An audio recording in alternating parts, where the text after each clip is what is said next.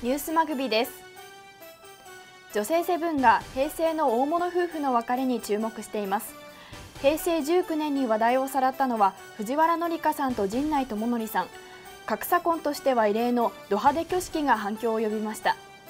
平成14年対談が縁で人気作家辻仁成さんと結婚した中山美穂さん。一男を設けましたが平成26年に離婚という結末に。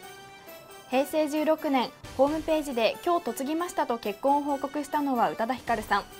当時の夫桐谷和明氏の初監督作品プレミア試写会でツーショットを披露しました。